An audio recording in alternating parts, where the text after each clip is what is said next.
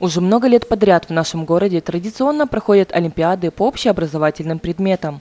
Интеллектуальные соревнования очень важны для подростков, так как учат настойчивости и позволяют глубже изучить предмет. Они проводятся для того, чтобы э, ребята показали свои возможности, сами себя проверили. Это основная цель.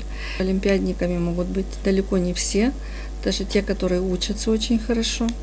Это специфическое интеллектуальное состязание, которое требует максимально умения максимально сконцентрировать внимание, э, вспомнить э, какой-то вот большой объем знаний и применить эти знания в нужном, в нужном месте в нужное время.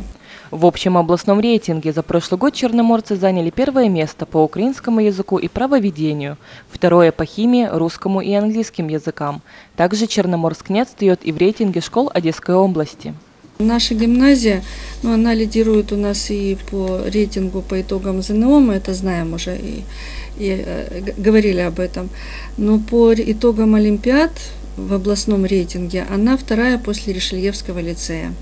Это тоже очень почет, почетно и приятно.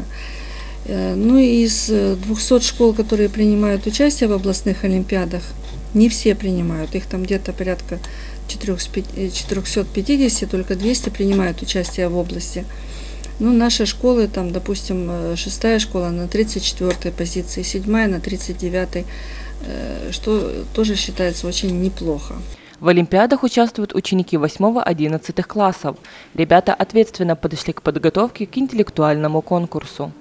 К этой Олимпиаде по химии я готовился а, в протяжении недели, но мы решали с классным руководителем определенные задачи, она мне объясняла темы, также вспоминали темы за 9 и 8 класс. Я надеюсь на позитивный результат, естественно. К Олимпиадам, ко всем, не только к Олимпиадам по химии, мы готовились очень усердно, мы сидели на каникулах, прорабатывали задания дома и очень надеемся, что займем призовые места. Победители городского этапа соревнований будут защищать честь Черноморска на областных олимпиадах.